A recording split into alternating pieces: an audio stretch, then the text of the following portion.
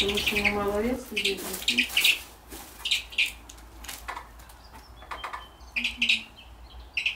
Вот.